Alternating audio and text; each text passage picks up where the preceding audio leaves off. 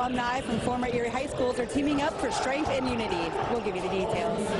Live in high definition from your news leader. This is Jet 24 Action News at 11. Well, now that story we had some difficulties with earlier, the seventh annual Game for Peace was held tonight at Gannon's Hammermill Center, and what began as a call for unity in the community became a call for unity as the city's high schools consolidate.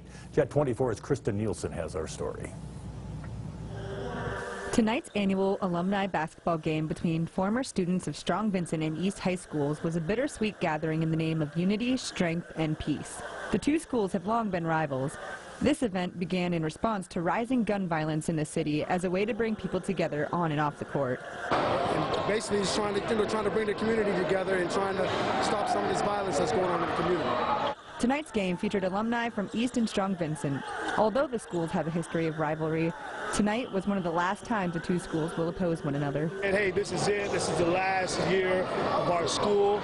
Let's try to get some guys together and uh, represent our own school pride, but yet uh, still come together as a community also. This event's been going on since 2010, but with the merging of the high schools next year, unity is more important than ever.